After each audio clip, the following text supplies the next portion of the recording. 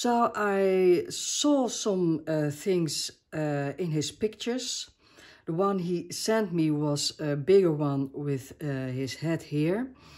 But to make completely that uh, picture on my painting, that I didn't like. And there was a, a big photo of his face looking through herbs that I liked. And there was a, this one smelling on herbs. So that's, that, those are the three things I wanted to show on my picture. Uh, on this sketch, I still wasn't completely satisfied about the composition. So I changed it a bit. And this is what it is. This is uh, 31 by 40. It's canvas. And I don't know if it's visible, but it's prepared with uh, a pearlescent watercolor ground. Uh, it's a very thin layer. You have to apply it several times. And that layer that will uh, absorb some kind of the, the watercolor. So this is a very uh, clear, uh, the herbs. Here you have his uh, big face and I wanted his face here, smelling at herbs. And the last thing I added was his uh, face.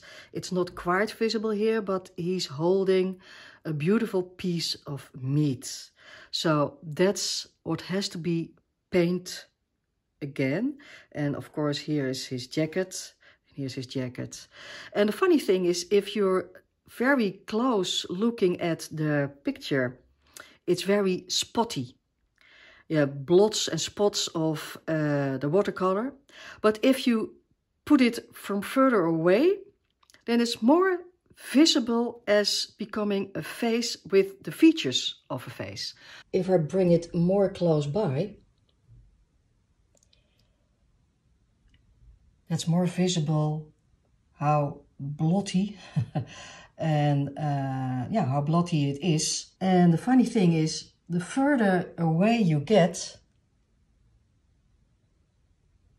the more visible it gets that it's all the blots are working together to become one face with all the shadows, depths and whatever to show the features of the face. So ready for the next stage. This stage is the stage where it's almost ready. Normally I'll put it aside and uh, take some time to look at it and figure out what does it need.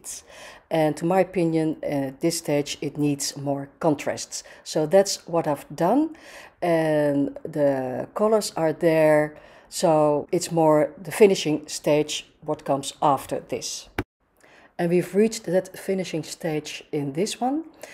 All the faces have become more color and especially the middle one is the most brown one and I've done that to uh, make uh, a combination with the color of the meat and the warm colors and the lower face and the lower uh, uh, uh hair of the the hair of the lower face have uh, gained more color to make it complete with the other faces. The herbs on the lower side of the painting have gained more dark colors to make some more contrast as well. And to my opinion, this one is ready.